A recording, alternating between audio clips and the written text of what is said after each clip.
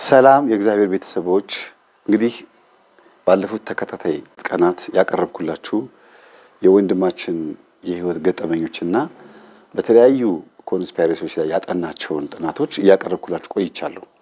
ብዙ ትምህርት እንደተማራችሁበት ተስፋ አድርጌያለሁ። ዛሬ ደግሞ የመጨረሻውን ክፍልና ዋናውን ሀሳብ ጠቅለል አድርጎ በአጠቃላይ conspiracy ምን እንደሆነ እንዲሁም ደግሞ በሌሎች ጉዳዮች ላይ እየገባ ይዟችሁ የመጡትን ሀሳቦች ጨርሰን እናጠናቅቃለን። ለእናንተ የሚመቻችሁን ሀሳብ ወስዳችሁ በቴሌግራምም በዩቲዩብም በቲክቶክም በተለያዩ ቦታዎች ላይ ለህዝቡ ተደራሽነትን ማድረስ ትችላላችሁ። አዲስ የገባችሁ ሰዎች ካላችሁ ደግሞ እንዲህ አይነት ትምህርቶች እንድናቀርብላችሁ እንዲመች ቤተሰብ ሆኖ አባል ሆኑ። ከእናንተ የሚጠበቀው ማንኛውም ድርሻ እንድትወጡ በእግዚአብሔር ስም አሳስባለሁ። መልካም ቆይታ። እንዴት ነው ወንድሜ? እግዚአብሔር ይመስገን። እንዴት ነህ? አለን ድጋሚ ስለተገናኘን በጣም ደስ ብሎኛል። አዎ እኔም እጅግ በጣም ደስ ብሎኛል። አዎ ዛሬ ይዘህልን የመጣኸው በጣም ጠንከር ያለና ሰፋ ያለ ብዙ ነገሮችን የምንማርበት እንደሚሆን ተስፋ አደርጋለሁ። እስቲ በምን ርዕሰ ጉዳይ ላይ ነው ዛሬ የምንወያየው? እንግዲህ ዛሬ ይዣቸው የመጣኋቸው ርዕሰ ጉዳዮች የምለው እንዴት የሳይንሱ ዓለምና ሳይንስ እንዴት እምነት እንደሆነ አንደኛ ነገር እና መንፈሳዊ ዓለም ሙሉ ለሙሉ ተዘግቶብን ተጋርዶብን መዳን የምንችልበትን መንገድ ሁሉ እንዴት እንደጨለመብን እና ሳይንሱንም ዓለም ስንመረምረው ከመንፈሳዊ ዓለም ጋራ የተያያዘ ሆኖ ግን መንፈሳዊን ዓለም ፈጽሞ መጥቀስና ማሳየት የማይፈልግ እኛን ማሳወር አድርጎ አቅጣጫ የሚያስቀይረን መንገድ ውስጥ እየሄደ እንደሆነ ነው እና አንዳንዴም ብዙ ቪዲዮዎች አሉ። እነሱን አውጥተን መጨረስ አንችልም። ግን ፈረንጆቹ ራሳቸው እያሉ እያደረጉት ከእነሱስ ምን እንወስዳለን ማለት በመንፈሳዊ ዓለም ዙሪያ እነሱስ የት ደረጃ ላይ ያሉና ታምራዊ ነገሮችስ እነሱ ላይ እንዴት ደርሰዋል? ሰውስ እንዴት ነው ያለው? በእነሱ በሚኖርበት በመንፈሳዊ ዓለም ባላቸው በጭላንጭልም ቢሆን እኛስ ብዙ ዘርፈ ብዙ የሆኑ ቅዱሳኖችም አሉ። ቤተክርስቲያናችን በየዘርፉ ነው። ጸበሉም በየቦታችን ነው። የምንድንበትን መንገድ ብዙ የምናገኝባቸው መንገዶች አሉ እና እነዚህን ሁሉ ጠቅላላ አድርገን በዓለም ላይ ያሉትን ከገዢዎችም አንጻር እንዴት የሰው ልጅ ላይ ይጠቀሙታል? እነኚህስ ነገሮች ከኛ ሃይማኖት ጋር በቀጥታ ምን አይነት ግንኙነት አላቸው? እነዚህ ምን ያገናኛቸዋል? የሚሉትን እንደው ከየቦታው በጣም ሰፊ ነው አርስቱ፣ በጣም ልንለጥጠው እንችላለን። ግን ጠቅለላ አድርገን የምንችለውንና እኔ የደረስኩባቸው መቼም ጥናት አደረግኩባቸውን ባልልም ያ መንፈስ ቅዱስ በመራኝ በዛ መልኩ ምን ያህሎቹ ነገሮቹ ግልጽ ሆነው ይታያሉ የሚሉት ያለፉትን ገዢዎች ጠቀስ ጠቀስ እያደረግን እንሄዳለን። መልካም ጥሩ። ተመራምረህበትም አጥንተህበትም እግዚአብሔር ገልጦልህም የምትነግረን ነገር በሙሉ ትውልድን የሚያድን እስከሆነ ድረስ ድካምህን አንክድም። እንትኑን value ወይም ደግሞ ዋጋህን ማጣት የለብህም ድካምህን። ግን ከዛም አልፎ በማህበራዊ ኑሮህም በመንፈሳዊ ህይወትህም ብዙ ሀገራት ደግሞ ስለዞርክ የተለያዩ ቦታዎች ላይ ስለሄድክ የምታውቃቸውን ነገሮች ለእኛ ስትነግረን በተለይ ደግሞ በተለይ የተረዳኸውን ያየኸውን በተረዳኸው መንገድ መነጽርህን ስታውሰን እኛም ፈዘን ደንዘን ካለንበት ቦታ ነጻ ስለምንወጣ ምንም እንደማትሰስት ተስፋ አደርጋለሁ። አዎ መቼም አልሰስትም። መቼም ምዕመናንም ወይም አድማጮቻችንም ማለት ይችላለሁ በምን መልኩ እንደማቀርቡ አላውቅም። የመጣልህን ሀሳብህን የምትገልጽልን የሚሰሙንም ትዝብት ውስጥ እንዴት እንዴት ለማለት ይቻላል ትዝብት ለመታዘብም ሳይሆን ብቻ ሁኔታውን እነሱም እንዲያጤኑት ነው ይሄ ነገር እንደው እውነት ይሆን ብለው እነሱም ምርምራቸውን ደግሞ በሚመስላቸው መልኩ እንዲያዩት ክፍት ነው ነገሩ። በጣም በጣም ጥሩ ጊዜው የ information ጊዜ ስለሆነ እነሱ በፈጠሩት ሳይንስ ውስጥ ገብተን እኛ ደግሞ ትምህርታችንን እንማማርበታለን። እኛም እንማማርበታለን። በጣም ጥሩ። እስቲ እንጀምር። ምንድን ነው የያዝከው? የልብ መመርመሪያ ምንድን የምትባለው ስሟ? stethoscope ትባላለች። እስቲ ከሱ እንጀምር። ይህንን አጋጣሚ ይዤ ያው ሲይዝ ድንገት ዶክተር ነው ብሎ ሰዎችም እንዳያስቡ አደራ። ምንም የሕክምና እውቀት የለኝም። ጆሮ ውስጥ ግን ይከተትና ይቺ ያው ጆሮ ውስጥ ትደረግና ልብንና ሳምባን ነው የሚያዳምጡት ብዙ ጊዜ ይመስለኛል። የሕክምና ባለሙያዎች የበለጠ ያውቁታል። እና አተነፋፈስን ወደ ውስጥ ሳባ አድርጎ አውጡ እያሉ ትንፋሽን ይሰማሉ። ከዛም ውጭ ደግሞ የልብህን ምታት ትክክለኛ ነው ወይ በሚጠበቀው ምት ይዘት ውስጥ በዛ ውስጥ አለ የለም ወይ የሚለውን ነው መጀመሪያ ዶክተር የሚያዳምጠው ማለት ነው በዚች በስቴቶስኮፕ እሺ የእኔ ተማሪዎች ያው በአቅሜ ትንሽ ልጆችንም ስለማስተምር የእነሱ የሆኑ ለሙከራ የሚሰጧቸው መማሪያ ነበረ። እንዲሁ ዝም ብሎ ሰጡኝ። ለምን እንደሰጡኝም አላውቅም። ብቻ እጄ ላይ ገብቶ ነበረ። የሚገርም ነው። ጥሩ ዓላማ ጥሩ ፍላጎት አላቸው ልጆቹ የማወቅ ግን ይሄ የትኛውን ልባችን እንደሚመረምር ባይታወቅም እስቲ እንማርበት። ብንማርበትም እስቲ ምን ያህል ይጠቁመናል የሚኖርም ያሏል። እኔ የሚችንም ያው ለአንተም በገጸ በረከት አድርጌ ላስቀራት ይመስለኛል። እዚህ ልብን የመመርመር አቅሙ ይኑር አይኑር እንግዲህ ወደፊት እናየዋለን። አንድ ፓስተር ምን አደረገ መሰለ? እሱን ጆሮ ላይ ያደረገና መጽሐፍ ቅዱስ ላይ ቁጭ አደረገው። hello ጌታ አለ እና ምንድነው ሀሳቡን ያመጣሁት በዚህ ነገር የሚደመጠው እ፣ የትንፋሽ አተነፋፈስና የልብ ትርታ ከሆነ ደም የደም ፍሰቱን ለማዳመጥ ከሆነ በዚህ አይነት ሳይንስ ውስጥ ደግሞ ያለውን conspiracy ነው ልትነግረን ያሰብከው። አዎ በዛም ዘርፍ ያሉትንና ምን ምን ያገናኛቸዋል የሚለውን እንደው ለማየት ነው ማለት። አንተም ታግዘኛል ከመጽሐፍ ቅዱስ ዘርፍ ማለት ነው ማለት። ገና መጀመሪያ ዶክተር ያው ሊያድነን ነው ሕክምናችንን ከበሽታችን በበሽታ ተይዘን ነው የምንሄደው እና በጣም ገላጭ ነው መቼም የኛ ቋንቋ። ለጸሎትም የሚመቸው ለዛ ነው። እንግሊዘኛውን እንግሊዘኛውን ስናየው ብዙ ጊዜ ብለነዋል ስፔል ነው የድግምት ቃላት እንደሆኑ በተለያዩ መልኮቹ ጠቁመናል እና ገላጭም ስለሆነ ለዓለምም አስቸጋሪ እንደሆነ እናውቀዋለን። ስለዚህ መጥፋት እንዳለበት ያው ዲያብሎስ ፈርዶበታል። ስለዚህ እኛውም ታመናል ስንል ተይዘናል ነው ተይዘናል። ጉንፋን ይዞኛል ወይም ስንል ይሄ ከሌም ተይዟል ወይም ተይዛለች ነው አይደለም የምንለው እና የያዘን ነገር አለ ብቻ አሁን ነው ሳይንሱ ከመጣ በኋላ አሞኛል የሚለው ነገር የመጣው እንጂ ጉንፋን ይዞኛል ነው ይዞኛል ነው። ሁሉም ሰው ይዞኛል ተይዟል ነው ብቻ እንደው ከዛ በኋላ ነው ስንድን ድኛለሁ እንላለን። እና የሚገርመው ደግሞ በአንዳንድ በቤተ እምነቶች እንዲያውም አሁን ኢየሱስ ያድናል ሲሉ እኛ በአንድ ቃል አስቀምጠነዋል ግዕዙን መድኃኔ ዓለም ብሎታል የዓለም መድኃኒት በቃ እዛ ላይ ሁሉን ነገር አስቀምጦታል እና መድኃኔ ዓለም የዓለም መድኃኒት መሆኑ በቃ እዛ ላይ አስቀምጦታል አሁን እኛ ኢየሱስ ያድናል ብለን ተንተንን መጻፍም የለብንም አይጠበቅብንም። ስለዚህ እንደው እነሱ በዛው ቋንቋ ራሱ ቢሰብኩ የበለጠ ይግባባሉ ብዬ አስባለሁ። በእንግሊዘኛው ቢግባቡ እና እስቲ የአማርኛ- አማርኛውና ግዙን እስቲ ይተውልለኛል። ባለቤትነትም የላቸውም እዛ ላይ ማለት ነው። እና ብቻ ስ ወደ መድኃኑ ስንመጣ ዶክተሩ ገና ስትመጣ ልብህንና የትንፋሽን ነው የሚያዳምጥ። አንድ ሰው ትንፋሹ አቆመች ማለት የልብ ትርታውም በዛው እኩል ታቆማለች። ሁለቱ በጣም ተያያዥ ናቸው ሁሉ ጊዜ። ከዛ ደምህ ይለካል። ደምህ እንግዲህ ባለፈው በተነጋገርንበት ጊዜ ገልጬ የነበረ በሆነ አጋጣሚ ላይ ስጋው ደሙን ተቀብዬ ደሜ ስለካ በጣም የተረጋጋና ያወረደ መሆኑን አይታ ነው። አይ መታየት አለብህ አለችኝ። እና ሳይንስና እሱን ስናቀር ሁሌም ሳየው ይወርዳል እና እኔ ያውቀዋለሁ ማን እንደሆነና በስጋውና ደሙ በደማችን ውስጥ ገብቶ ምን እንደሚሰራ አውቀዋለሁ እንደሚያድነን ማለት ነው በደማችን ውስጥ ሆኖ እና ዶክተርም ያንን ልባችንን ካወጣ ነፍሳችንን ነፍሳችንን አያውቅም። ነፋሳችንን ግን እስትንፋሳችንን check ያደርጋል። ልባችንም check ያደርጋል። እኛም ስንድን ወደ ጸበሉም ወደ እምነቱም ወደ ስጋው ደሙም ስንሄድ የመጀመሪያው ነገር ልባችን ንጹህ መሆን አለበት። የልባችንን የምናነጻው እንግዲህ እያገዝከኝ እንግዲህ እኔ ተሳሳትኩኝ። ልባችን የምናነጻው በንስሐ ነው። ልክ ነው። ልብህ ንጹህ ካልሆነ ሺህ ጊዜ ቢጠመቁ ብዙ ጊዜ ስጋው ደሙን ቢቀበሉ በእምነቱም ቢሄዱ የመዳን ተስፋቸው በቃ ይያዛል። ምክንያቱም የልብ ንጽህናን የሚጠይቅ ነው መድኃኒታችን የዓለም መድኃኒታችን የሆነው በስጋና በደማችንም የመጣው በእርግማን ትውልድም ሊሆን ይችላል። አሁን እኛ የምንለው በዘር በዛር የምንለው ያው ጂኒዋ ራሷ ስትወርድ ያ ሁሉ እንግዲህ ቤተ መቅደሳችን በረከሰ ቁጥር ከኛ ከአብራካችን የሚወጡ ልጆችም ራሳቸው ያንን እርግማን ይዘው በስጋና በደማችን ተላልፈው ይሄዳሉ። የኛ ውጤቶች ናቸው። አፍንጫው፣ ጆሮ፣ አይኑ ሁሉ የኛ እንደሚመስል ሁሉ ደሙም ሁሉ የኛኑ ባህሪ ይዞ ነው የሚሄደው። ቁርጥ እንደ አባቱ ቁርጥ እንደ እናቷ ይህ የምንሰማው ነገር ነው። ያ ሁሉ እንግዲህ ይሄዳል። መንፈሱም አብሮ ከዛ ጋር ይሄዳል።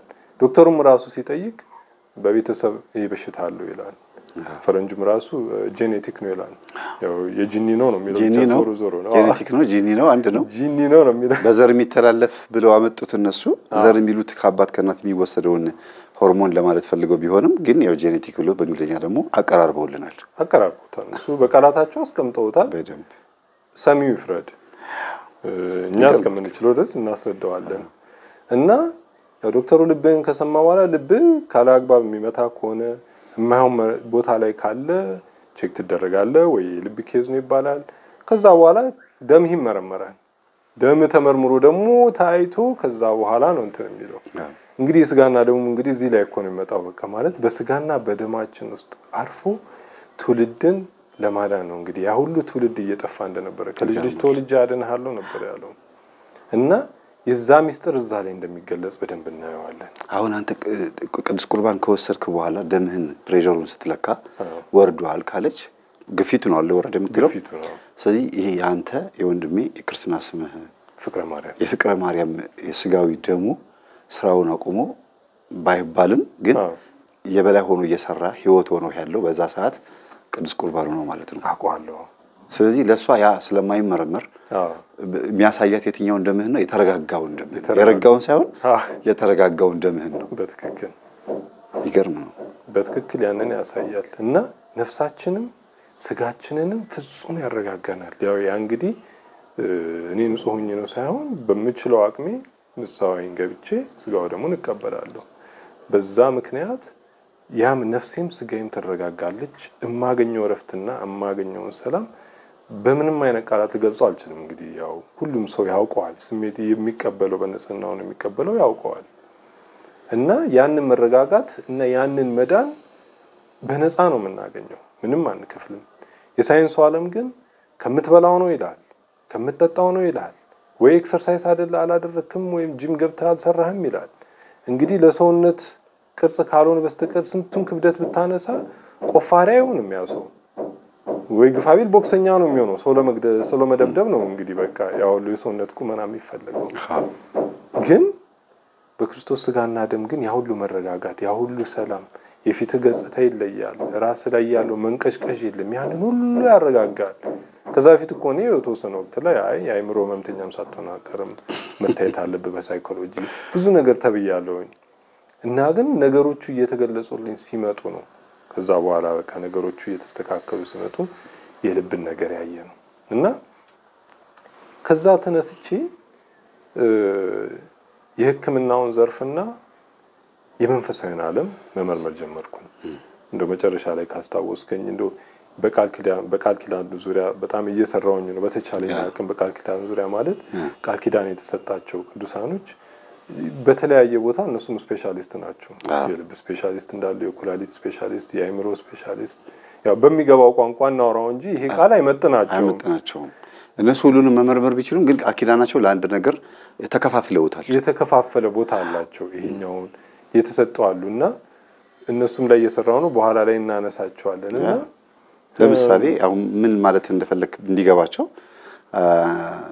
አይኔን አሞኛል ሲሉኝ አንድ እናት እስቲ ሳሪስ አቦ ቤተክርስቲያን የአይን ጸበል የምትባላለች ቃል ኪዳን ሳይኖሩ አይቀርም። ዮሐንስ ጸበልም አጠገቧል እና ያችን ጸበል ቀርተው አይኖትን አበስ ካረጓት እንግዲህ ቆይቻለሁ ከሰማሁት አስር ዓመት አልፎኛል ከሰማሁት ነገርኳቸው።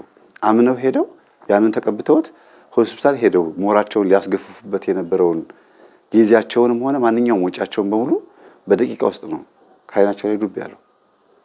ይሄ ስፔሻሊስትነት ነው፣ ትልቅ ነው። የቦታው ቃል ኪዳን የጻድቁ አባታችን የአቡነ ገብረ መንፈስ ቅዱስ ቃል ኪዳን ነው። ስለዚህ እዛ ቦታ ላይ አይንን ኦፕራሲዮን አድርገው ራሳቸው ሰሩ ማለት ነው። ይሄ በቃ ሁሉም ጸበል ቦታ ላይ የየራሳቸው የሆነ እንትን አላቸው፣ ቃል ኪዳን አላቸው። ከዶክተር እኩል እየሰሩ ነው ማለት ነው። እየሰሩ ነው። አካልን ሰውነትን በደንብ አድርጎ የሚመረምርና የሚያድን ነው።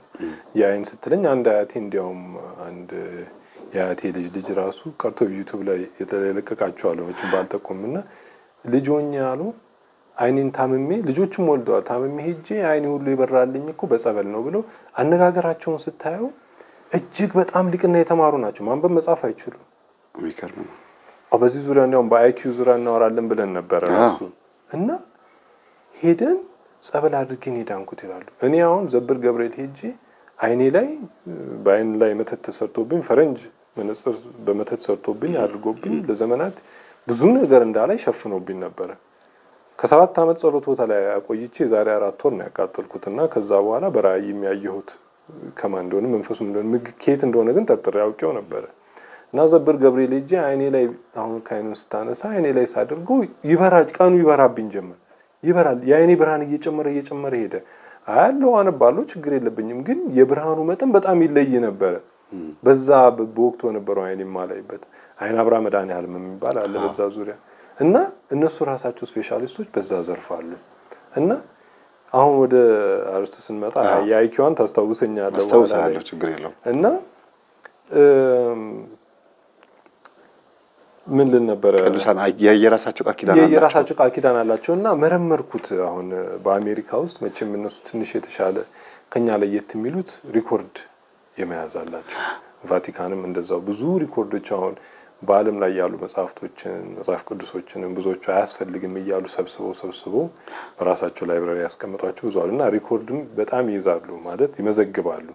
አሁን የኛ የአቡነ ዘርዓ ብሩክ ትልቅ ገድል ያላቸው በእንግሊዝ ሀገር ተወስዶ እስካሁን ገድላቸውን አልያዝንም፣ ግን ያው ትንሽ ነው ያለብን ያለን እና በጣም ከባድ ነው። ልክ እንደ መጽሐፍ ሄኖክ ጄምስ ብሩስ እንደወሰደው ማለት ነው እና ሳየው ስታቲስቲክሳቸውን ዘገባቸውን አየሁኝ እና ምን ያህል ሰው ይሞታል፣ ለምሳሌ በልብ case ምን ያህል ሰው ይሞታል ብዬ ገባሁኝ። CDC የሚባል የነሱ የጤና ማዕከል አለ፣ ሁሉንም ነገር የሚቆጣጠር ልክ አሁን ኮቪድ ሲገባ ምን ያህል ሰው ሞተ፣ ምን ያህል ሰው በዚህ ይሞታል፣ ምን ያህል በቃ የሀገሪቷን ይመዘግባል። እና በጠቅላላው በድምሩ ከዚህ በፊት ከዚህ ከፍ ያለ ቁጥር አይቻለሁ። በጠቅላላው በድምሩ ሶስት ነጥብ ሀያ ሰባት ሚሊየን ህዝብ በአመት አሜሪካ ውስጥ ይሞታል።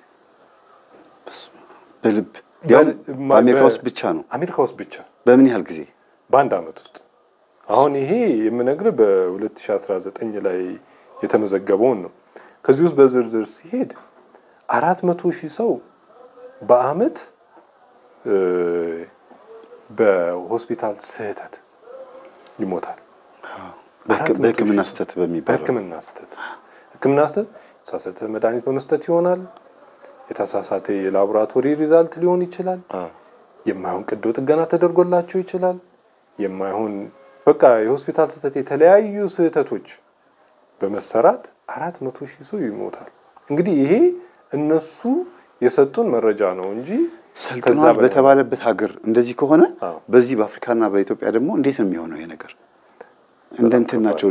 እውነት ህዝቡ እንዲያውም እየተ- እየተመረመረ ያለው perfection ኑን ለማምጣት የነጮች በሕክምናው ላይ ስህተት እንዳይኖር ለማድረግ እንደ አይጥ ነው የሚያዩት ማለት ነው። ይሄን ህዝብ እኔ እንደዛ ነው የማስበው።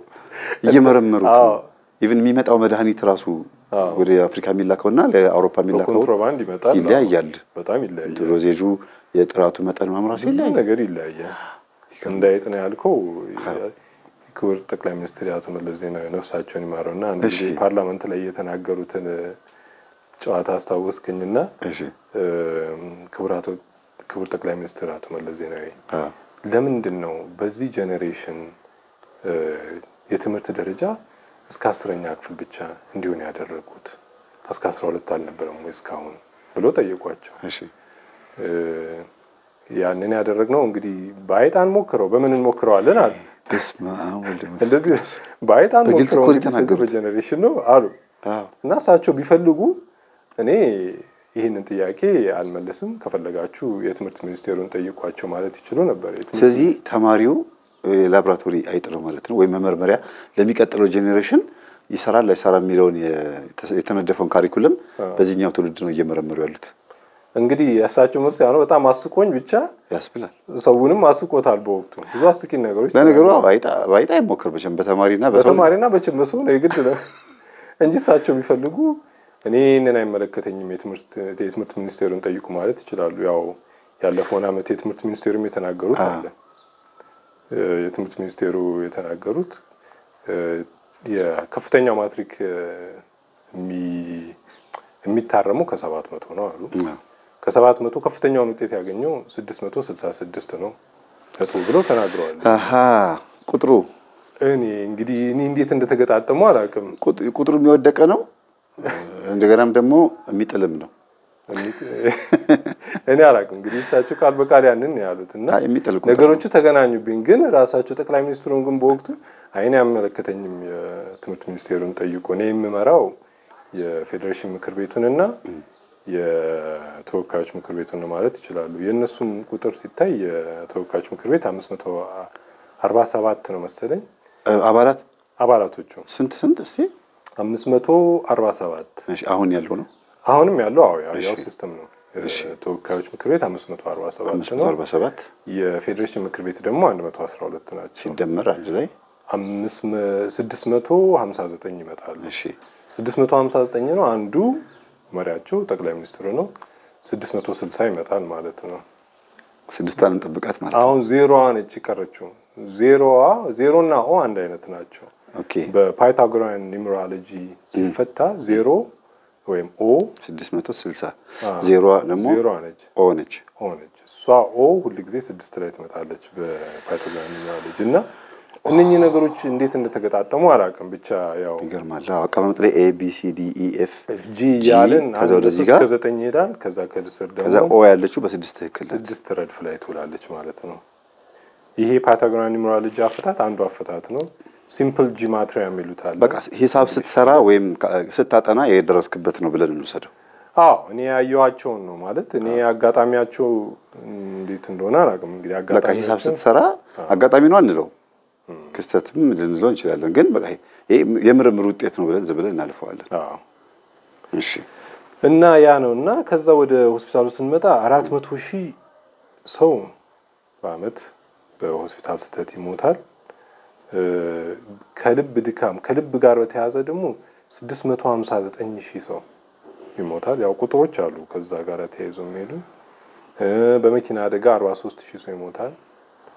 በ drug ደግሞ overdose በማድረግ የተለያዩ drug ኦችን በመውሰድ የሚሞቱ መቶ ሰባት ሺህ ራስን በማጥፋት ስምንት መቶ ሺህ ሰው ማለት መድኃኒት በመውሰድም ይሁን ራሱን በመጣልም ይሁን ሽጉጥም ይሁን ከዛ ውስጥ ሰባ ስምንት percent ኡ ወንድ ነው ወንዶች ወንዶች ነው የሚሞቱት።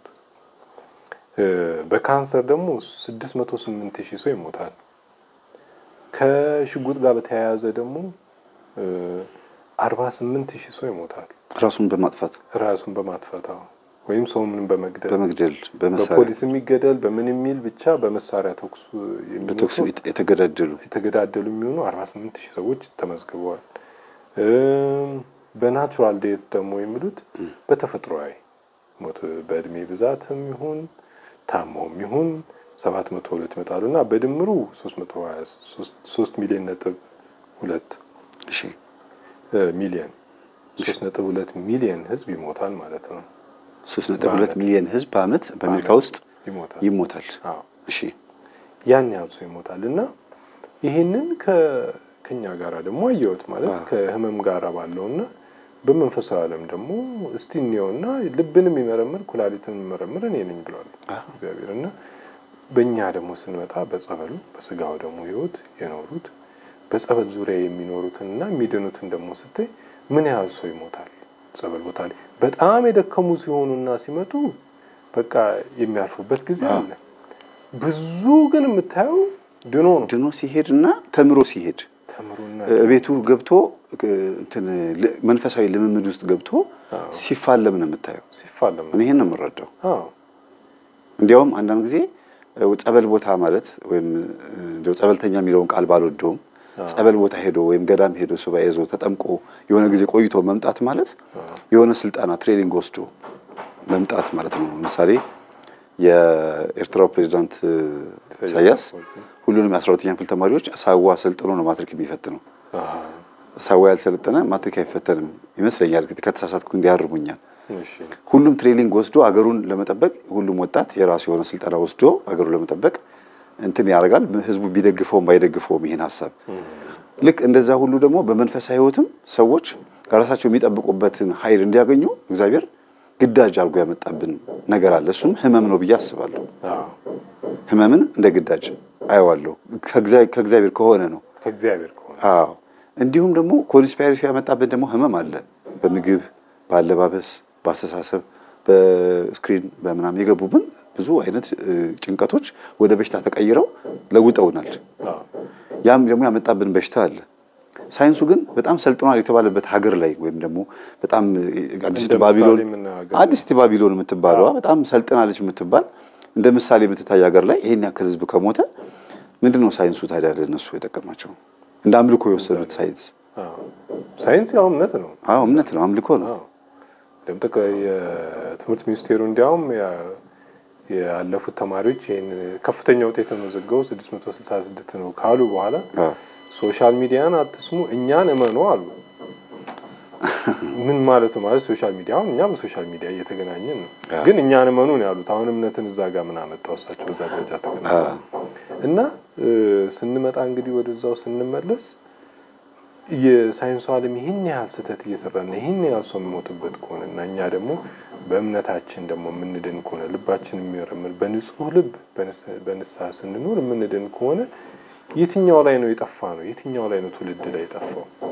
እና ትውልድንም ደግሞ ስታየው በየገዳማቱ ስትዞር ይህን ያህል ትውልድ እምርልሃለሁ ነው የሚለው። ብቻ ትውልድን እምርልሃለሁ የማያልቅ ኪዳን ያለው ገዳማት ብዙ አልገጠሙኝም እኔ ትውልድን እምርልሃለሁ እና እነሱም ገዢዎቹም የሳይንሱን ዓለም ተከታዮች በሙሉ በጣም አበክረው ትውልድ ላይ እንደሚሰሩ ተገንዝቤያለሁ። ምክንያቱም አይ አጠናሁት እኔ ራሴ ማለት አየሁት። አሁን በመቶ ዓመት እድሜ ውስጥ ያሉትን አየሁኝ እስከ መቶ ዓመት ያሉት በሀያ አምስት በሀያ አምስት በሀያ አምስት ዓመት እየከፈልኩኝ ራሴም ያለሁበትን ትውልድና ከዛም በፊት ያሉትን የቱ ላይ የጠፉት አልኩኝና የአባቶችን ሳይ ወደ መቶ ዓመት እድሜ የሚጠጉትን ሳይ ያኔ ነው መጥፋት የጀመረው። ከቀዳማዊ ኃይለ ሥላሴ ከምኒልክ በኋላ ከቀዳማዊ ኃይለ ሥላሴ በኋላ ትውልድ ላይ በጣም እየሰራ እንደሄደ አየሁኝ እዛ ላይ። ከዛ በኋላ በቃ ከረባት ለባሽ ሆነ፣ ልብስ በሙሉ ወለቀ። ባለፈው እንዳወራ ነው የአለባበሳችን በሙሉ ቀረ። አሁን እቺ እጀ ጠባቧና ተነፋነፏና አደራር ራሱ አንድ ካህን አላየውም እስከ ዛሬ በገጠሪቷም በብዛት ልብሶችህ እንደዚህ ናቸው። አንተ አሁን እኔ ያው ባገኘሁት አጋጣሚ የአበሻን ልብሴን ነው ውጭም እንደዚህ ነው የምትለብሰው?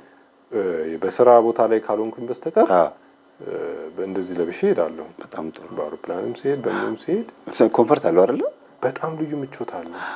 እ፣ ብዙ ለውጥ አይቼበታለሁ። በራሱ ፈጥሮ ሙቀትና ላብ አያመጣም። እንዲሁ በራሱ የተለየ ሙቀት አለው።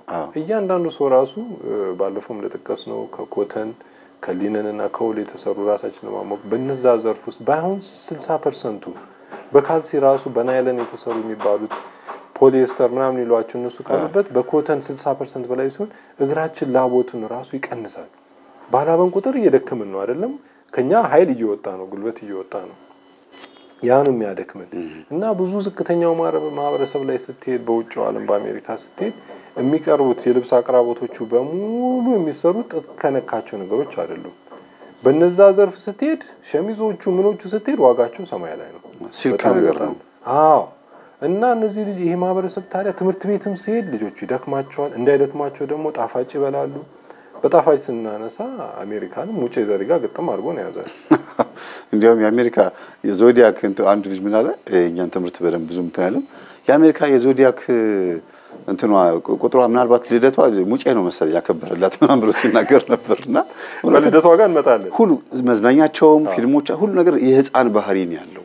የህፃን ባህሪ ነው። ከዛ በላይ ደግሞ ከረሜላ የማይበላ ከአዋቂ እስከ ልጅ የለም። dentist የጥርስ ሐኪም ጋር ሄደ ልጆቹን ጣፋጭ አትብሉ፣ ጣፋጭ እንዳታደርጉ ይሉና ልክ ሲወጡ lollipop እና ከረሜላ ይሰጧቸዋል።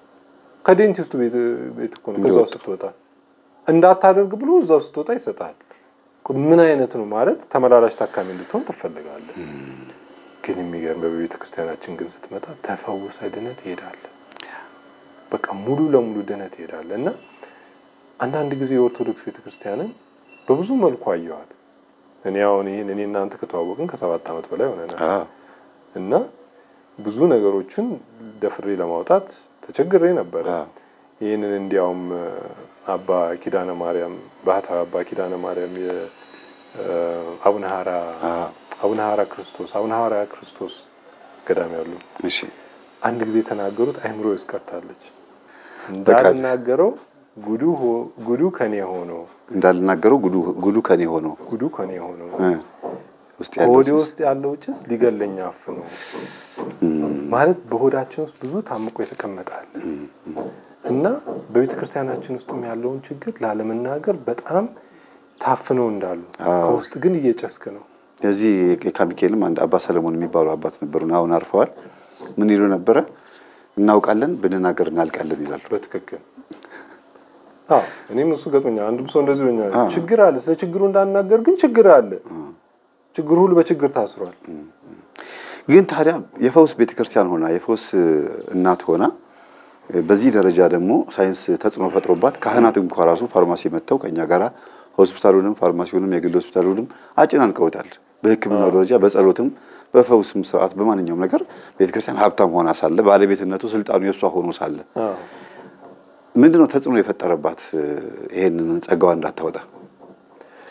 ጸጋዋን እንዳታወጣ ሳይሆን በቅርብ የማውቃቸው ሊቀ ጳጳስ የነበሩ አቡነ መልከ ጸዴቅ ብዙ በዚህ ጉዳይ ላይ ያወራዋቸውን ሳያልፉ በፊት ማለት ነው እና በህመም ላይ ነበሩ። እሺ በጣም ተነጋገርንበትና በጣም ደነገጡ። በቀዳማዊ ኃይለ ሥላሴ በእሳቸውን ጊዜ ካህን ከእሳቸውን በቅርብ ሆነው ካቢኔት ሆነው የሚሰሩ የነበሩ ናቸው እና ሁሉም ነገር ገልጸን ስናወራው እጅግ በጣም ደነገጡ። እንዴት ፊት ለፊታችን ሆነ ይህንን ሁሉ ነገር ማየት አልቻልንም? ምን ያለው በጣም አዘኑ እና እንዴትስ ወደ ህዝብ እናውጣው ብለው በዛ ዙሪያ እንመክርበታለን ካሉኝ በኋላ እሳቸውን በጣም እየደከሙ ሄድና ነገሩ ሳይሳካ ቀረ። አረፉ ማለት ነው። አረፉ።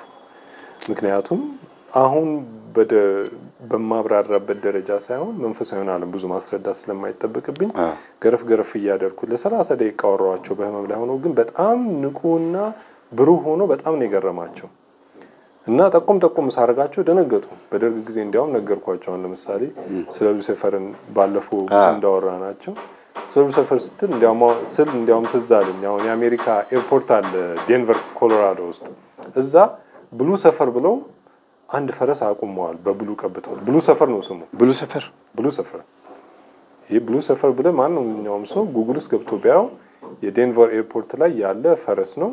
አይኑ የሚያበራ የሚያስፈራ ከነሱም ቁጭ አድርጎታል። ከታች ደግሞ ሻንጣ የምትቀበልበት ቦታ ላይ ብትሄድ ከነ ክንፉ ሰይጣንን ሰርቶ ቁጭ አድርገውታል። ራሱን ራሱን ምንድን ነው የሚወክለው ብለው አወጡት። ያው ሉሰፈር ነው፣ ግን ሰው ግን አያስበውም፣ አይሰማውማ።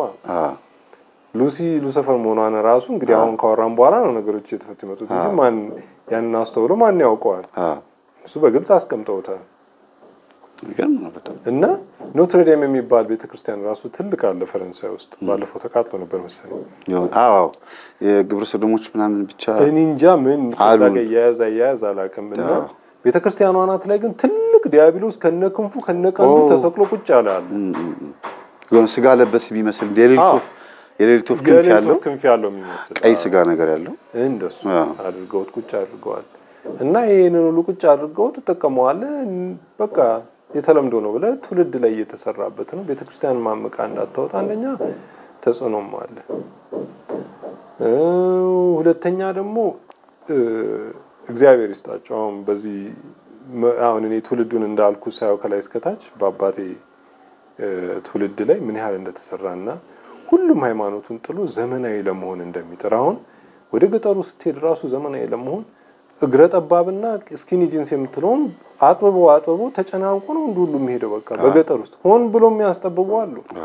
እንዴት በእግራቸው ራሱ እንደሚገባ በጣም ነው የሚገርመኝ። ያንን አድርጎ ሁሉ የራሱ የሆነውን ነገር በጣም ጥሎታል። ብዙ ወንዱም እንደ ሴት ሰውነቱ ላይ ላስቲክ አድርጎ ጂንስ ሱሪውን ሹልክ አድርጎ ማስገባት ጀምሯል።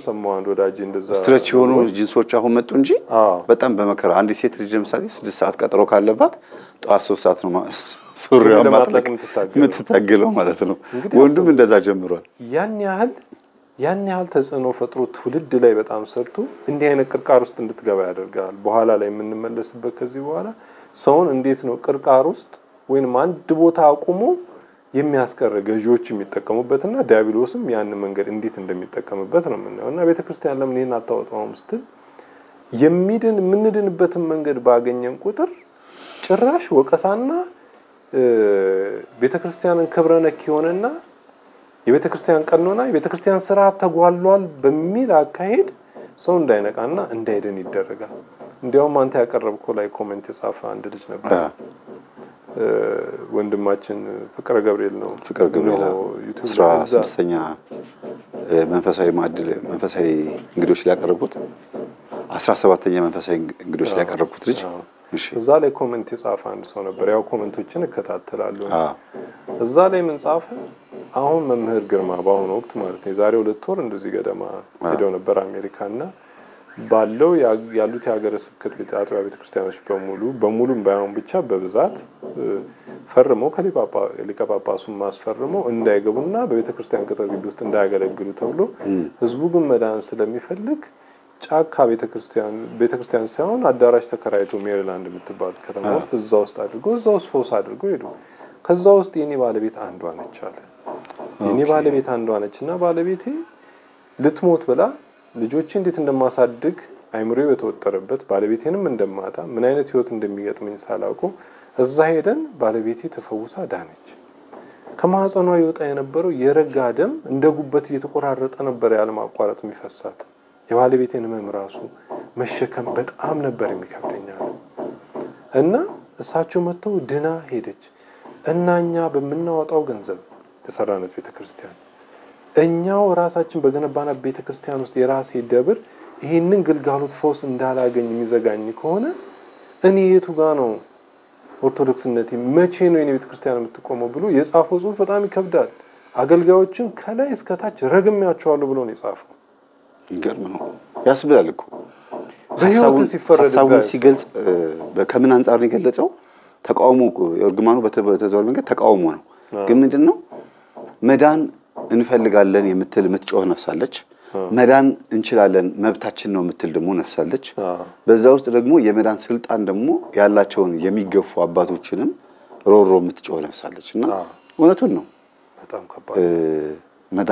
ማዳኛ ቦታ አጥተው ቤተክርስቲያን አልፈቅድ ብላቸው ጫካ ወስዶ አንድን ሰው ፈውሶ ማብቃት መቻልን መመስከርም ራሱ ትልቅ ነገር ነው እና ይሄ ትልቅ ነገር ነው። ግን እ፣ ከዚሁ ጎን ለጎን በተያያዘ ሰሞኑን አባቶቻችን በዩኬም በተለያዩ ቦታ ቀሲስ ሄኖክ ወልደ ማርያምም ፈተናዎች እየገጠሟቸው ነው። ፈተናው ምንድን ነው?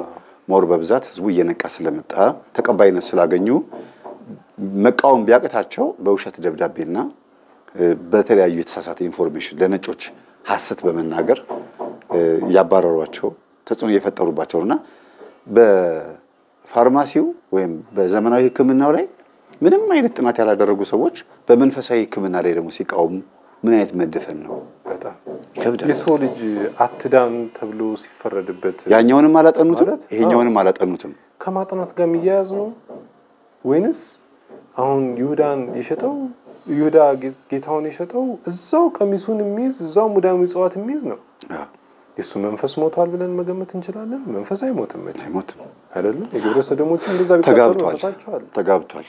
የይሁዳ መንፈስ በደንብ አለ። እና አባ ኪዳነ ማርያም በሶስት ነገር ጌታ ሞተ ብለው ከጠቀሷቸው አንዱ ውስጥ ሁሉ ሊቀ ካህናትም አንዱ ናቸው ብለው አዎ፣ እና የማየው ነገር ቤተ ክርስቲያናችን የተደፈነችው በስብከት እኔ ከማየው በስብከት ምእመንን ማደንዘዝ፣ በወንጌል ብቻ ማደንዘዝ፣ ልክ እንደ ሌላው ቤተ እምነት በቃ በወንጌል ብቻ ማደንዘዝ። ወንጌሉን ሰምቶ ይሄዳል። ታሪኩ የሚያውቀው ነው፣ በድግግሞሽ ያውቀዋል። የአምልኮ ሕይወት ግን እውነተኛውን መንገድ ግን እንዳይ መጋረድ በጣም ከባድ ነው። መጽሐፍ ቅዱስን አስይዘህ መጽሐፍ ቅዱስን መጋረድ ማለት በጣም ከባድ እኮ ነው። ፊት ለፊት ቁጭ ብሎልህ አንተ ብር ቸግሮ ያ ሁሉ ብር እንግዲህ ወላጆችም እዛ መጽሐፍ ቅዱስ ውስጥ አስቀምጠውት እንደሆነ አታገኘውም። ምክንያቱም ልትገልጠው አልፈለግክም። እዛ ውስጥ ያለው መዳን በቃ ግልጽ ሊሆንልህ አልቻለም። እና ኢየሱስ ክርስቶስ የፈውስ አገልግሎቱን ሲያደርግ ሲያድን ነበረ። መደዳውን ሲያድን ነበረ። አይን ሲበራ አየን፣ ሲመሰከር አየን። እኔ ራሴ ባህታዊ አባ ገብረ ጊዮርጊስ የሚባሉ አሉ። አሁን በአሜሪካንም በዩቱብም ያገለግላሉ። ለመጀመሪያ ጊዜ ከአስር ዓመት በፊት አሁን ቀሲስ ሄኖክ ዩኬ እንደሚያደርጉ በትንሽዬ የተባይ ማጥፊያ መድኃኒት የምትመስል ፓምፕ ነገር በእሷ አጥምቆን ከላዬ ላይ ሲነሳ ይች ግራ ገባኝ። ስለ መንፈስ አላውቅም። በጣም ግራ ገባኝ። አሁንም አሉ YouTube ላይ ባህታዊ አባ ገብረ ጊዮርጊስ ዲዲቲ ምርጫ የሚባል እንደሷ ነች። መድኃኒት ምርጫ በእሷ ነው እኔን የሚያጠመቁኝ ሰዎች አምጥተዋቸው ማለት ነው። አረንጓዴ፣ ቢጫ፣ ቀይ የሚለብሱ አባት ነበሩ። ያን አሁንም YouTube ላይ ያሉ ብዙ ሰዎችን ፈውስ አገልግሎት ይሰጣሉ። ብዙ ሰዎች ግን አያውቋቸው እና ያኔ ነው የነቃሁት። በቃ እንዴት ከላዬ ላይ የሆነ ነገር ሊነሳ ይችላል? ምንድን ነው የሚባለው? ወደ ምርመራ ውስጥ ራሱ የገባሁት ከዛ በዙሪያ ያለውን ነገር ሁሉ ሳይ ነገሮቹ እንዳልሆኑ ነው። እና እነኛ አባቶች አሁን መምህር ግርማ ብዙ አንቅተውናል። አባ ኪዳነ ማርያም የትምህርት በቃ ምግቤ ናቸው ምግቤ ናቸው። በጣም ደስ ይላል። ቀሲስ ሆነ ወልደ ማርያም እጅግ በጣም ብዙ መምህር ግርማ ስለማይገኙ ከእሳቸውም ጋር አገልግዬ በቃ በመሰረቱ የማንቂያውን ራሱ ያመጡት እነሱ ናቸው። ደውሉ ራሱ የማንቂያው ደውል መጀመሪያ በመናፍስ ጉዳይ ላይ እንድናጠና ምክንያት የሆኑ እነዚህ ናቸው። እነሱ ናቸው። በጣም እኔ ሳላመሰግናቸው ማለፍ አልችልም። ምክንያቱም በቃ ስለ ዝክር አወቅኩኝ፣ ስለ ቅባ ቅዱስ አወቅኩኝ። ዘርፈ ብዙ ስለ ማጥመቅና በጥንካሬ እነዚህ ይህንን ያህል ግልጋሎት እየሰጡ ሲነቀፉ ሰኔ ስትሉ ትገፋላችሁ፣ ትታሰራላችሁ፣ ትሰደዳላችሁ ያለውን ቃል በቃል በቤተ ክርስቲያናችን ውስጥ እናየዋለን እና ወደ አርስታችን ስንመለስ ቤተ ክርስቲያን ይህንን ለምንድን ነው የማታወጣው የምትለው በጣም ያሳዝናል። ከኛም ውስጥ አንድ ሊቀ ጳጳስ ያው ኮቪድ ራሱ ክትባቱን ተከተቡ ብለው ከተከተቡ በኋላ ህይወታቸው አልፏል። በአንድ ጊዜ ሸብተው በአንድ ጊዜ በሕክምና ሄደው ከዛ በኋላ መጥተው ህይወታቸው አልፏል። በህዝብ በማህበራዊ ሚዲያም ሳይሆን በቴሌቪዥን ራሱ መንግስትን ወክለው ክትባት ሲከተቡ እንግዲህ ህዝቡን ወደዛ ሲያደርጉት ነበረ። ኮቪድ nineteen ኮቪድ ማለት Da Vinci code ነው ወደ ኋላ ሲነበብ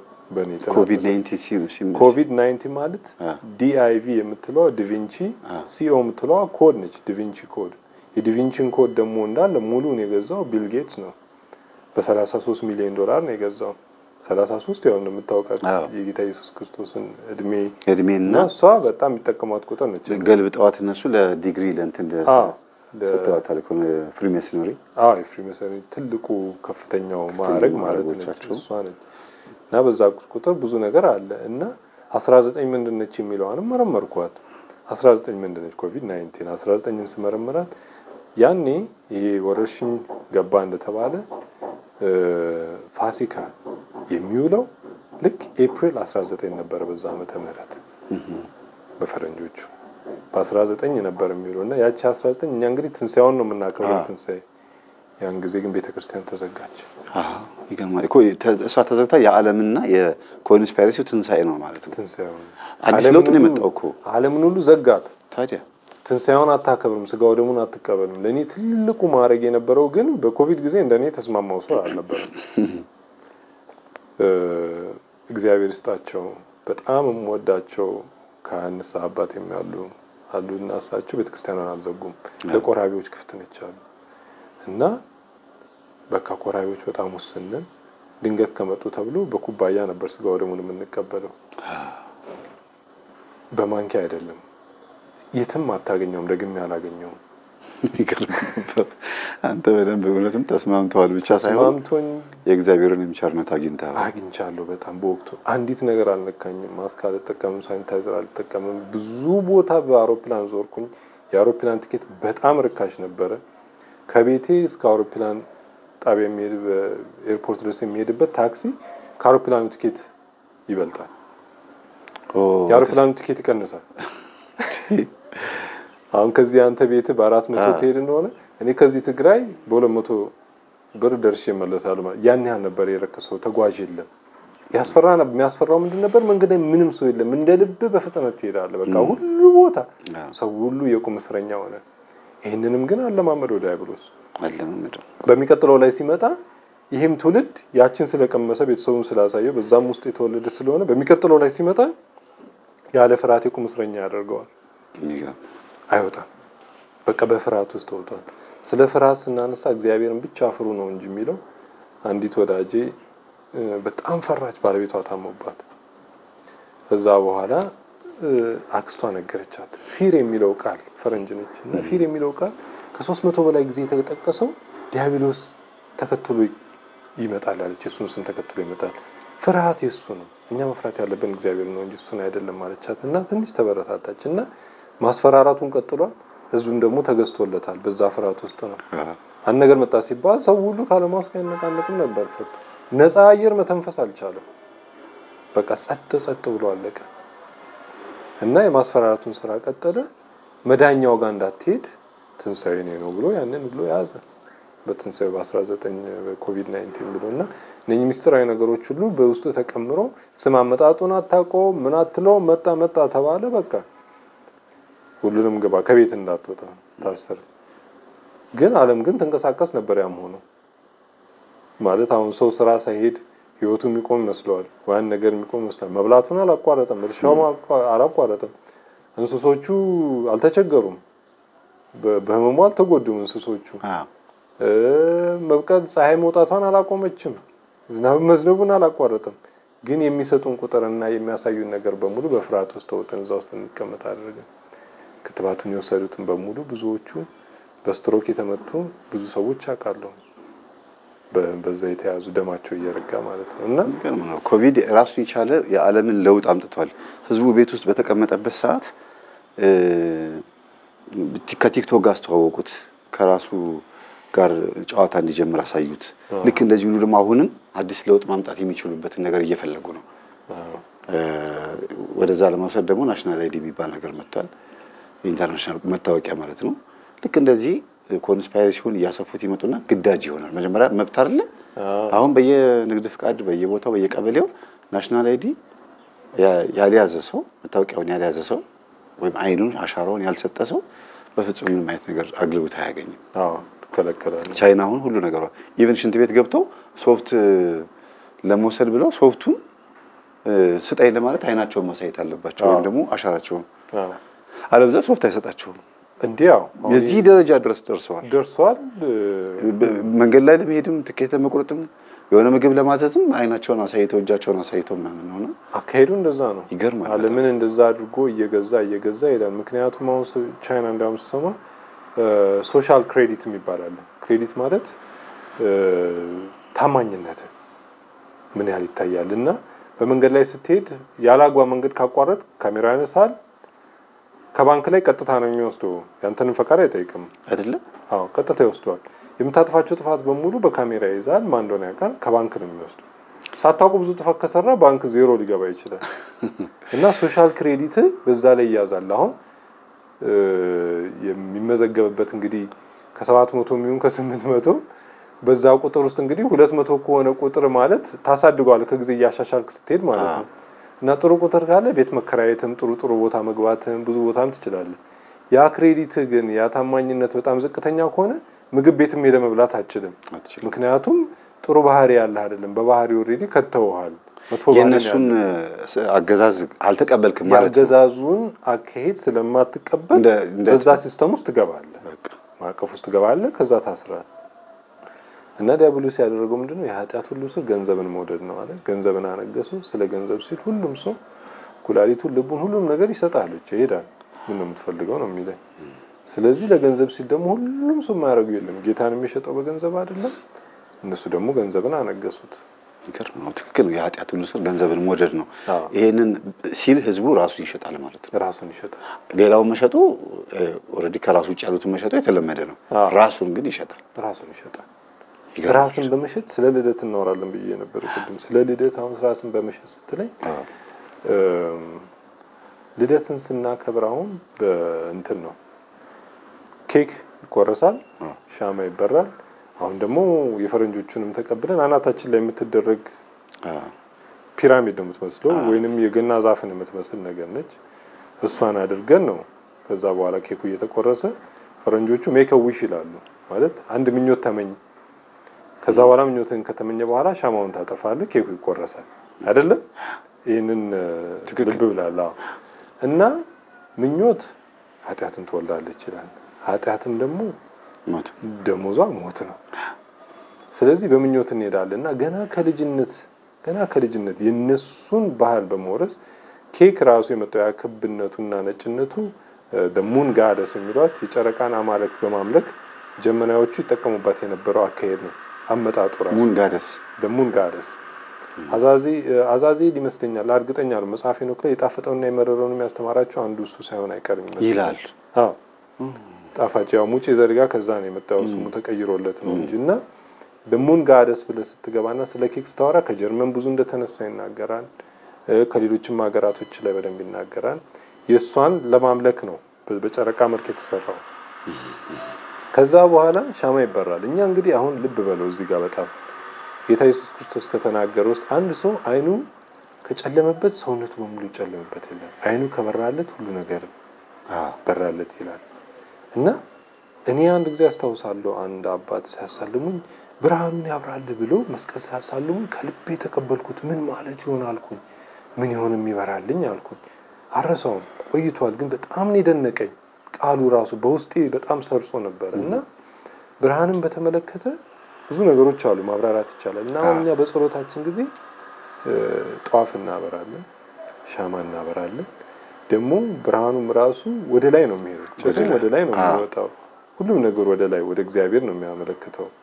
እነሱ ያውም ሲነጋገሩበት ዋትሳፕ ዋትሳፕ ይላሉ አይደለ? ከላይ ምን አለ ነው እኮ ያው ማሾፍ ነው እኮ what's up ማለት ከላይ ምን አለ ነው እኮ ጨዋታው። ይሄን አስተውየው አላውቅም። ማንም አያስተውለውም። what's up ማለት እዛ ምንም ቁም ነገር የለም። ምንድን ነው እዚህ ያለው ጉዳይ እንደማለት ነው። ዋትሳፕ ነው what's up ከላይ ምን አለ ነው። ጥናቱ ሁሉ ከላይ አይደለም። ትልቅ ተመራማሪ የሚባሉት ሁሉ የጠፋ ምንም አዲስ ነገር የለም ማለት ነው። በተዘዋዋሪ በዛው መንገድ ነው። vice versa አዎ እዛ ምንም የለም እዚህ ጋር ምንድን ነው ያለው ጉዳይ ብሎ እንደመጠየቅ ነው። አሁን የዚህ ዘመን ልጅ WhatsApp እንደምትለው application ነው የሚልህ። አንዱ እሱ ነው። አይ በ application መጥቷል አላምዶን አላ ስለዚህ በ WhatsApp ደውልልኝ እንባባላለን። የሚገርም application ም ስትል APP አይደለች application ራሱ ምህጻረ ቃሏ APP ራሷ ስድስት ስድስትን ነው የምትጠራው። a በ small letter በ small letter ስድስት ስትገለበጥ። ራሱ አሰነ ሁሉም ከዝንጀሮ ሲገለበጡ መጣን የሚሉት እኮ ape የሚሉት ራሱ ዝንጀሮ ራሱ ape ማለት ዝንጀሮ ነው። APE ነው እሱ ራሱ እና ያው አልሸሹም ዞር አሉ ነው ብቻ በዛም በዚህ ብንሄድ እዛው ጋር ነን። ብዙ ተመራምረበታል። ስለዚህ አሁን ape ሲል A P E ነው። አዎ። ስለዚህ e እና p ሲገለበጡ ስድስት ናቸው። ሁሉም ሲገለበጡ ስድስት ናቸው። ተዘቅዝቆ ሲታዩ ኢ ማለት ይቺ እንደ ሶስት የምትጻፈው የዞረችው small letter ሯ small ሏ e ነች። p ያው ምንም አታጠራጥርም እዛ ነች። የሚገርምህም AP ን ስትለኝ በኮቪድ ጊዜ በአሜሪካ ውስጥ ሁሉም ደሞዝ ይከፈለው ነበር ሳይሰራ payroll protection plan የሚባል መጣ። ማለት ሳይሰራ ሁሉም ተከፋይ ነበር፣ ግን ዓለም ትንቀሳቀሳለች። በጣም ነው እኮ የሚገርም እና ያ PPP ነበር የሚባለው PPP payroll protection plan የሚባል ነበር። ተጠቃሚዎቹ ያው ብዙ ቼኩን የበሉ ያውቁታል እዛው እና እሷን ገልብጠ ማየት ብቻ ነው ወይ ከላይ ነው ማየት ያለ መገልበጥ what's up ስለሆነ ከላይ ሆነ አንተ ደግሞ up ሆነ ወደ ታች down ብታየው ታየዋለህ። what's ነገሩን። ዳውን what's down what's down ያው የታወቀ ነው ቁጥሩ። መቼም እ፣ ሕሊና የሚዳኘው ነገር ነው። በጣም ይገርማል። አንዳንድ ፖለቲካ ፓርቲዎችን ስማቸው እንደዚህ ነው። abbreviation ኑ ከባድ ነው። እዛ ውስጥ አንገባም። እዛ ውስጥ አገባ አብሬሽኑ- የደርግን መጥቀስ እንችላለን። እ? እንደ ጥናት እኮ መጥቀሱ ችግር የለውም። ጥናት ነዋ። ግን አሁን እኛ ይቅርብን እንለፈው። ድሮ ሰኞ ማክሰኞ እየተጫወትን ያቺ ያስቀመጥክባትን ዘለሃት አዎ። እንደሷ ዘልያ ብሄድ ይሻለኛል ይሻላል። እና ወደ ልደቱ ስንመጣ ኬኩ ሲቆረስ ሜከውሽ ይለዋል። ምኞትን ከተመኘ በኋላ ሻማውን ታጠፈዋለህ። እኛ ጸሎት ስናደርግ በፍጹም ጸሎትን ካልጨረስክ በስተቀር ሻማውን አታጥፋም። ብትችል ቀኑ ሙሉ ታበረዋለህ። ብርሃን እግዚአብሔር ብርሃን ስለሆነ ብርሃን ነው እሱም የሚመሰለው። ግን ልደታችን ጀምሮ የራሳችንን እድል እዛው ሻማውን አጥፍተን ከተመኘን በኋላ እድላችንን እዛው እናጠፈዋለን። በየልደታችን እኔ እድላችንን አሁን ልጆቼ በፍጹም ሻማ እፍ ብሎ እንዲያጠፉ አልፈቅድላቸውም። በተደጋጋሚ የዛሬ ስድስት ዓመት ሰባት ዓመት ስታስተምር ሰምቼ ያደረኩት ነገር ነው። እፍ ብላችሁ ስታጠፉ እድላችሁን ነው ያጠፋችሁት።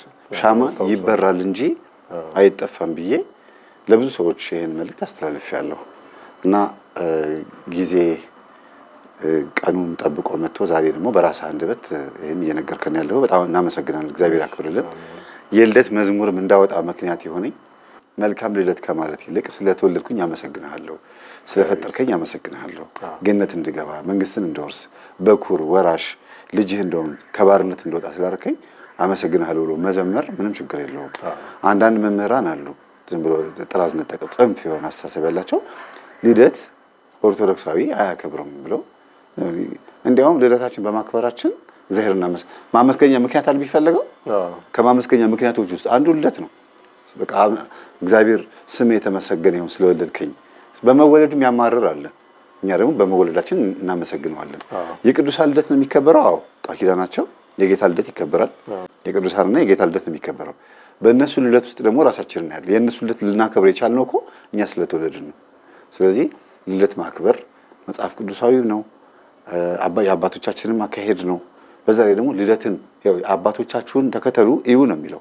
የእነሱ መስመር የፍሬያቸውን እየመሰላችሁ በእነሱ መስመር ሂዱ ነው የሚለው። ስለዚህ በመወለዴ ደስተኛ ሆኜ እኔ እንደ ለነገሩ ልደት ከኢኮኖሚካል አንጻር ይሁን ከባህሪ አንጻር ይሁን አክብሬ አላውቅም ነበረ። አጋጣሚ ልጄ እኔ በተወለድኩበት ቀን የተወለደችው ወሩም ቀኑም እና ከዛ በኋላ ማክበር ጀመርን። ኤልድዬም ደግሞ የመጀመሪያውን በኢትዮጵያ ኦርቶዶክስ ተዋሕዶ ቤተክርስቲያን የመጀመሪያዋ የልደት መዝሙር የሰራችው በዚሁ አጋጣሚ ነው ማለት ነው። ስለ ልደት አንተ ሀሳቡን ባታነሳው ኖሮ ይሄም ነገር አይከናወንም ነበር ማለት ነው እና አንድ ነገር ሰው ጣል ሲያደርግ እንደ ቀልድ ይጥለዋል። የሆነ ሰው ጭንቅላት ውስጥ ደግሞ በአጀንዳ ይጻፋል፣ አጀንዳ ላይ ይሰፍራል። ለዛ ነው በዚህ አጋጣሚ ታንኪዩ ለማለት ነው። ነው ሁሉ ነገር የሚሆነውና እግዚአብሔር ይመስገን። በሻማው ዙሪያ እንግዲህ ያው ከልጅነት ጀምሮ እድላችንን በማጥፋት እንቀጥላለን። የእነሱ የሆኑ ነገሮችን የሚፈነዱ የማይሆኑ ነገሮች አናታችን ላይ የምናደርገው ቆብ ራሱ እሱም ተገቢ ያልሆነ አካሄድ ነው። ምክንያቱም እኔ እኔ ራሴ በልደት ዙሪያ አሁን አንተ ራሳችን መወለዳችን እግዚአብሔር ማመስገናችን መልካም ነው። እዛ ልደቴን ማክበር ተውኩኝ እኔ ራሱ ምክንያቱም ቅዱሳኑን ወይንም በተወለድኩበት ቀን የሚያርፉበትን ቅዱሳንን የእመቤታችንን ልደት የእነሱን መዘከርና የእነሱን ማስታወስ ጀመርኩኝ። ምክንያቱም በምኑ ቅድስና ነው የሚለውን ራሱን በቃ ወሰንኩኝ። የሆነ ነገር ሰርቼ እንኳን ቢከበር ደስ ይለኛል እና የጀመርኩበትን እድሜ ራሱ በጣም ያንን እድሜ በቃ አከብረዋለሁ። በቃ ማለት እዛ ላይ መንቃት የራሱ ትልቅ ነገር ነው። አሁን 12 ዓመት ሆኖኛል ከተወለድኩ እኔ አሁን ከነቃሁበት ማለት ነው። አዎ አንተን ካገኘው ሰባት ዓመት አንድ ስምንት ዓመት የስምንት ዓመት እድሜ ነው። ትንሽ ከኔ ትበልጣለህ ማለት ነው። 2004 ላይ ነው መንፈስ ጨርሶ በቃ በደንብ ተራገፈው። በቃ ከዛ በኋላ እኔ ልደቴ ማክበር ልደት ስለ የምንድነው መንፈሴ ወደ ራሴ የተመለሰበት አይምሮ የተመለሰበት ዋው ብዬ ራሴን ያደነኩበት እውነት ግን ነው። እኔ አስታውሳለሁ እንደ መጀመሪያ ስንገናኝ መገና ላይ ነው እና የተወሰኑ የተወሰኑ ነገሮች ተነጋግረን በቃ እንደው ይሄ ህዝብ አያሳዝንም እኔማ ይቺ በጣም ያሳዝናል። እንዴት እንዴት ተደራሽ እንሆናለን? በምን መልኩ እናውጣው የሚለው ግራ ገባን። አስታውሳለሁ። የዛን ጊዜ ዩቲዩብ አልተከፈተም። አልከፈትክም፣ ያን ጊዜ አልከፈትክም እና አንተ ይኸው ለብዙሃኖች ምክንያቱም ብዙዎችን ማንቃት በድፍረት ሄድክበት። እኔ በፍርሃት ተቀመጥኩ። አይ ወቅትና ጊዜ ስላለው ነው። አብረን አውርተን ነበረ። እግዚአብሔር ሰምቶን ነበር። የዛን ቀን መላእክቶቻችን አቅደውልን ነበረ። ያው ቅዱ ላይ ደርሰናል። ስኬት የምለው እኔ ሀብት አይደለም፣ ወይም ስኬት የምለው የስልጣን አይደለም። ስኬት የምለው መንቃትን ነው፣ ነቅቶ መዳንን ነው እኔ ስኬት የምለው። ስለዚህ ያው ከዛም አልፈን ሰዎች እንዲተርፉ ምክንያት እየሆነ ነው ብዬ አስባለሁ። ግን የሆነ ብቃት ኖሮ ወይም ሌላ ነገር ኖሮ ሳይሆን የገባንን ስለምንገልጽና የወደቅንበትን ያ- የእንቅፋቱን ድንጋይ ወደ ጥግ ማድረግ እንዴት እንደሚቻል ስላስተማር ነው። እኔን እንቅፋት የመታኝን ድንጋይ ብዬ ተናድጄ ምን አይነት ነገሩ ብዬ ካለፍኩኝ ሌላውን ደግሞ ይጥለዋል። ሌላውን የሚጥለው። ስለዚህ እኔ ምንድን ማድረግ ያለብኝ? የተላጠውን ጣቴን በእንቅፋት የተመታውን ጣቴን በጨርቅ ጠቅለል አድርጌ ያንን ድንጋይ ደግሞ ፈንቀል አድርጎ አንስቶ ጉድጓዱን ሞላ ሞላ አድርጎ መጥምቁ ዮሐንስ እንዳለው ነው። ጉድጓዱም ይሙላ፣ ጎባጣውም ከፍ ያለውም ዝቅ ይበል፣ የተጣመመውም ይስተካከል፣ መሬቱ ደልዳላ መሬት ይሁን፣ ለጥ ያለ መሬት ይሁን፣ ሰው መራመድ እንዲችል እንዲተያይ ነው። አሁን አባጣ ጎባጣ ከሆነ አትተያይም። ዝቅ ያለም ከሆነ ጉድጓድ ውስጥ ይገባል። ከፍ ያለ ከሆነ ተራራ ይሸፍናል። የተጣመመም ከሆነ አትተያይም። የመጥምቁ ዮሐንስ ሶስት ንግግሮች ናቸው። ዝቅ ያለው ከፍ ይበል፣ ከፍ ያለው ዝቅ ይበል፣ የተጣመመው ቀጥ ይበል ሲል ልክ ደልደል ያለ ነገር ነው የሚሆነው ማለት ነው። ይሄንን አይነት አስተምህሮ ወደ ህዝቡ ለማምጣት መጀመሪያ ይሄንን የተደላደለ ቀጥ ያለ ነገር ውስጥ መግባት አለብን ብዬ አስባለሁ። ቢያንስ በሁለት እግር መቆም ያስፈልጋል ብዬ አስባለሁ። እና እግዚአብሔር በረዳን መጠን ያው እንግዲህ expose እያደረግን ያለ ነው ይሄንን ነው። እውነት ነው። እንዲያውም ማስታወስከኝ ስለ መጥምቀ መለኮት እኔ እሷን ታሪክ አላውቃትም፣ ግን በበረሃ በባዶ እግሩ እየሄደ አዎ ያስተምር እንደነበረ ነው የማውቀው አዎ እና የተደለደለ መሬት ይሄድ እንደሚል እሷንም አላውቅም። አሁን ገና ከአንተ መስማቴ ነው። ግን እሱን ስትለኝ በዛ ዙሪያ አይቼም ነበረ፣ ጽፌያቸው ነበረ። ዛሬ አላመጣሁትም እንጂ ዮሐንስ መጥምቀ መለኮት ዮሐንስ በበረሃ በባዶ እግሩ እየሄደ ነበር እና በሱም አመሳስለው ውስኪ መስራታቸው በጣም ያናድደኝ ነበረ። በዮሐንስ ማለት አሁን Johnnie Walker የሚባሉ Johnnie Walker ውስኪ ዮሐንስ አራምዴ ነው የሚሉት በአማርኛ አማርኛ። ዮሐንስ አራምዴ አዎ እንግዲህ አስበው እንግዲህ እሱ መጠጥ በህይወቱ ቀምሱም ማያውቅ ነው። እንግዲህ እንዴት እንደሚያራክሱት ማለት ነው።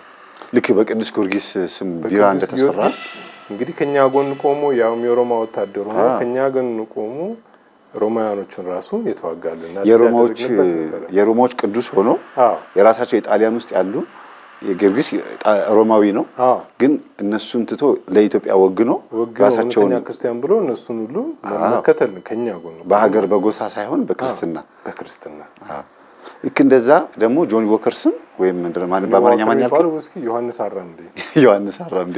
ስለዚህ መጥምቁ ዮሐንስ በበረሃ የሚጓዝ በባዶ እግሩ የሚሄድ ስላለ አገናኝተውት ነው ማለት ነው። አገናኝተውታል እና አይጠጣም። መጠጥ ቀምሶ አያውቅም። ምንም ወይን ጠጅ አልጠጣም የሚባለው እሱ ነው። እዛው ፋብሪካ ውስጥ እየሰራ ጠጥቶ አያውቅም ነው ወይስ? አይደለም መጥምቀ መለኮት ቅዱስ ዮሐንስ መጥምቁማ አይጠጣም፣ አዎ። ስለዚህ በእሱ ላይ መዘበት ነው። መዘበት ነው እንደማይጠጣ አውቆ መጠጥ አዎ። በከተማ እንደሚ ይሄ ደግሞ በእግሩ ተቃራኒ ነው። ጆኒ ዎከርስ ደግሞ ያው የሚያደርገው ጠጥተህ እንዴት ብለህ ነው የምትራመደው? አዎ። ይህ እግርን ሽባ አረድ በየመንገዱ በየቱቦ ስር ስለዚህ የሚያስ ተቃራኒ ነው የሚሰሩት ማለት ነው። ተቃራኒ ነው፣ ይግልባጭ ነው። እኔ አምላክ ነኝ አይደል ያለ ሁሉም ነገር ገልብጦ ነው ጥናት ነው። በጣም ነው የሚያሳዝን እና በመጠጥ ውስጥ ያለውን ራሱ የተደበቀውን ስሰማ ታሪኩን ውስኪ ወደ ቤቱ ይዞ ሄዶ መጠጣት ፈልጎ በምን ይዞ ይወጣ? ፍተሻ ስላለ በሚይዛት ከዘራ ውስጥ ውስኪዋን እየጨመረ ይከድናት ሰውየው ጆኒ ዎከርስ ብልህ ነው። ከዛ እዛ ውስጥ እየከተተ እሷ እንዲያወዛወዝ ይሄዳል። ቤቱ ሲሄድ ከዘራው ላይ ያቺ ውስኪ ይቀዳ ነበረ። ከዛ ለወይን ያለው ፍቅር ወይም ደግሞ ለውስኪ ያለው ፍቅር እንዲህ አይነት ፍልስፍና ውስጥ ከቶታል ተብሎ ሰውየውን የውስኪው አርማ አደረጉት የሚል ነው የተጻፈው ታሪክ። ያንተ ጥናት ደግሞ ስሙም ተራማጅነቱ በተቃራኒ ነው ያደረጉት። ውስኪ እንደማያራምድ ወይም ደግሞ የሰውን እድሜ እንደሚቀጭ አዎ፣ የሚገርም ነው በጣም። በጣም ነው የሚያሳዝነው እና የእሱን ስታየው ታዝናለህ። የቅዱስ ጊዮርጊስም እንግዲህ የእሱ ተራዳይነት የእሱ ሰማዕትነት በእኛ ጎን እንዳይቆም በሰካራም እጅ እንዲወድቅ በዛው መልኩ ነው የተሰራበት የሱ እና ከዛም አልፎ ከታሪኩ ጋር ለማወሳሰብ ይሞክራሉ። በጣም ግን ያው ተራዳይነቱ ከኛ እንዲለየን ነው እንግዲህ ቤተክርስቲያናችን ተራዳይነቱ እንግዲህ በዛ ደረጃ እንትን ካልነው ከባድ ነው። እንትንም ነው ንዴትም ስድብም አለበት። ስድብም አለበት። እንግዲህ አስበው አሁን እንግዲህ ቅዱስ ያሬድን የሚያክል ያሬድ ሙዚቃ ቤት ተብሎ ደናሽ ሲያፈራ የሚገርም ነው። በጣም ያሬድ ሙዚቃ ቤት ያሬድ ሙዚቃ ቤት ኦርቶዶክስ ተዋሕዶ? ቤተክርስቲያን በራሷ ቅዱስ ስም ደግሞ በዚህ ስም ደግሞ ሌላ ሀገር መስራት እንደማስችል ደግሞ አትችልም። ይሄ ነገር እስቲ ንገር። እኔ በጣም ገርሞኛል። እኔ በጣም ገርሞኛል። እኔ ያው በገና መምሬ ነው ያው የዳዊት በገና ብሎ ለመክፈት ዳዊት በገና ትምህርት ቤት ተብሎ ለመክፈት በመንግስት አልተፈቀደም። አይቻልም ስሙ የማን ነው? መጽሐፍ ቅዱሳዊና የቅዱስ ስም ነው። ነው። መንግስት ለምን ይከለክላል? ነው እንግዲህ ከባድ ሰኞ ማክሰኞ ስንጫወት የምንዘላት አለች አይደል? እሷ ላይ ነው እንግዲህ ሐሙስን እንግዲህ እንዝለላት እሑድ ላይ እንገባለን። አይ ቅዱስ ያሬድ የኛ ሆኖ ያሬድ ሙዚቃ ቤት ተብሎ ከተከፈተ በቅዱስ ያሬድ አባትነትና ቅድስና የምናምነው እኛ ነን። በንጉሥ ዳዊትም ቅድስናና ነብይነት ወይም ደግሞ አባትነት የምናምነው እኛ ነን። ቅዱስ ዳዊት መዝሙር ቤት ወይ ማን ነው ትምህርት ቤት ብሎ መክፈት የማይቻልበት ምክንያት ግን ለምንድን ነው? እንግዲህ ቤተ ክርስቲያን በኮቪድ ጊዜ ተዘግታ እኔ የሚያድነኝ እሱ ነው ወደ እሱ ነው የሚሄደው ስትባል አይቻልም። አርፈ ቁጭ በል ቤት ከተባልክ ምንድን ነው ለምንድን ነው ተጠጣኝ ማን ነው የምጠይቀው? አንድ አንድ ልጅ የገጠር ልጅ የመለሰው መልስ በጣም አስቆኛል። እዚህ አጋጣሚ አስተማሪ ትገርፋለች እንደዚህ ስትደረግ አዎ ባትሰራ ምን ታደርጋለች? ትመታኛለች። እንዴ አልሰራም ብትላት እንዴ ዱላማ ሊቀበልልህ አለ እና መልሶ አሳቀችኝና አይ በጣም ደስ ይላል። ስለዚህ ለምን ብለህ ለመጠየቅም ከባድ ነው። አዎ፣ አሁን በአሁኑ ሰዓት ለምን ብሎ አይጠየቅም። አልኩ አልኩ ነው ምን ታመጣለህ ነው። አልኩ አልኩ ነው አለቀ። ብያለሁ ነው አለቀ። የቀድሞ ጠቅላይ ሚኒስትር መለስ ዜናዊ በጣም ያስቁኛል። ብዙ ጊዜ ቀልዳቸው ያስቀኛል እና ጠየቋቸውና ስለ ወቅቱ በፖለቲካ ጉዳይ ጠየቋቸውና ከዛ በኋላ የማናቸው የመከላከያ ሚኒስትር የነበሩት አቶ ስዬ አብራ ይባሉ ከዛ እሳቸው ይታሰራሉ። እሳቸው ሲታሰሩ ፍርድ ቤት ሲቀርቡ ዳኛዋ ብርቱካን ሚደቅሳ ትባል ነበርና ሌላም ዳኛ ነበር ይመስለኛል ይፈቷቸዋል። ህግ ወደ ኋላ ተብሎ አይሰራም። ምክንያቱም እሳቸውን ያሰሩበትን ህግ ከፍርድ ቤቱ በኋላ ከተደረገው ወንጀል በኋላ የወጣ ህግ ነው። ስለዚህ ከዛ ወደ ኋላ ህግ ተመልሶ በዛ ህግ አትቀጣም፣ በነበረው ህግ ነው የምትሰራው። ህግ ወደ ኋላ ተደርጎ አይሰራም ብላ ለቀቀቻቸው። ከዛ በሌላ ምክንያት አምጥተው አስገቧቸው እና ታሰሩ።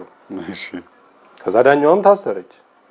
ከዛ በኋላ ጠበቃው ቀስ ብሎ አሚን ጋዜጠኛው አጋጣሚውን ሲያገኝ ክቡራቶ ጠቅላይ ሚኒስትር የብርቱካን ሚደቅሳ ጉዳይ እንዴት ነው ሲል ብርቱካን ሚደቅሳ አትፈታም አራት ነጥብ ብሎ ዘጋ።